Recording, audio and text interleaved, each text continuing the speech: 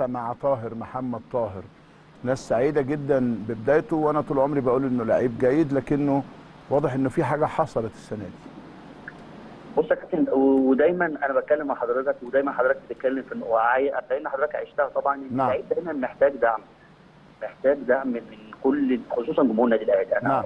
كلنا ثقة طبعا في جمهور النادي الأهلي إن هم دايما. في ظهرنا لكن أوقات كتيرة جدا بتلاقي مثلا قلة قلة يعني. نقول قلة شوية إن دايما بينتقدوا اللعيبة في أوقات. كتيرة يعني لكن النهارده طاهر بيشتغل على نفسه بشكل كويس آه لعيب آه ملتزم جدا آه بيشتغل في بشكل كويس جدا في التدريبات بيحاول يعالج الحاجات ال- النواقص اللي عنده سواء الفينشنج أو سواء الحاجات اللي هي كان فيها مثلا مش ما بيعملهاش 100% مم. النهارده طاهر من أكثر اللعيبة المؤثرة في الفرقة النهارده سواء لأهدافه أو الأسيست بتاعه بشكل كبير جدا بقى مؤثر في الفرقه بقى من ركائز الفرقه نعم. أعتقد الحمد لله هي دي اللي عهدنا دايما في النادي الأهلي يعني نعم.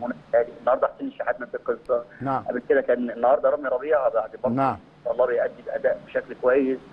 آه، الشناوي بي- بيواصل آه، تألقه نعم. هو هو زمايله.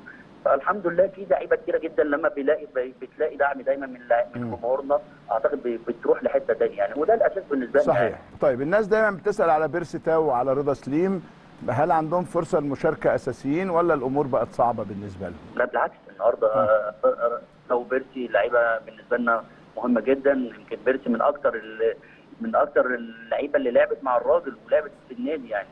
آه، وكان مؤثر جدا فترات كبيرة جدا معانا.